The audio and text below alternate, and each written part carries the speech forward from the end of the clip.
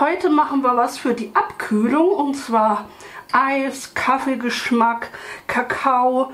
Lasst euch einfach überraschen und wenn euch das interessiert, dann bleibt jetzt einfach dran. Die Zutaten und Mengen stehen ja unter dem Video in der Infobox. Wir brauchen jetzt erstmal löslichen Kaffee, Zucker, und eigentlich kochendes Wasser.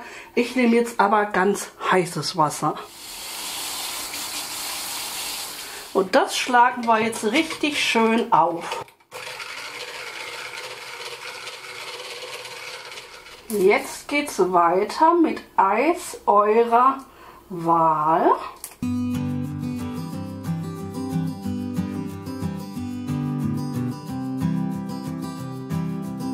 Dann drücken wir das Ganze hier so ein.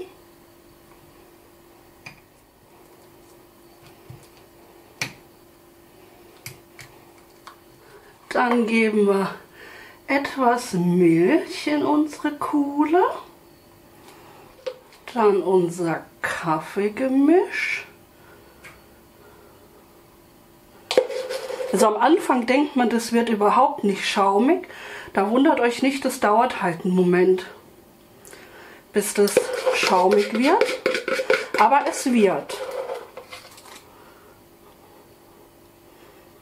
Und dann geben wir noch ein bisschen Kakao oben drauf.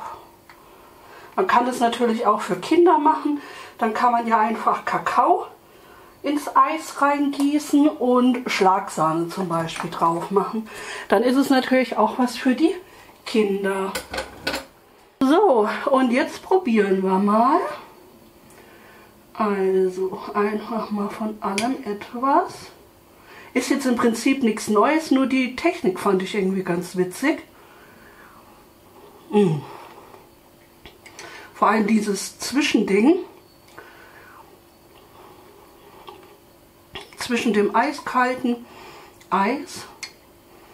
Das ist oh, so lecker. Ich mache es kurz und knapp, bevor mir das Ganze schmilzt. Also macht's nach, lasst es euch schmecken und dann hoffe ich, wir sehen uns wieder beim nächsten Mal. Tschüss!